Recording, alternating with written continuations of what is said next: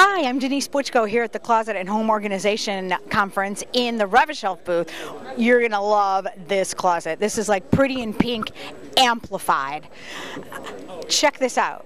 We've got a high gloss finish.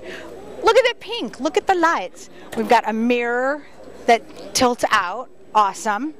We come over here, and this is a great product. This can be used for ADA things, but also for vertically challenged people like myself.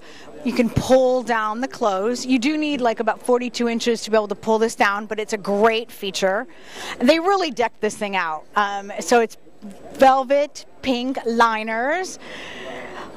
When you pull out the basket, it's lit. How cool is that? Anybody's got that dirt, much dirty laundry, it's probably a problem. Um, but, you know, a lot of kids. I know I have friends that do laundry all the time. We've got fancy schmancy shoes in the corner, also lit and lined with pink.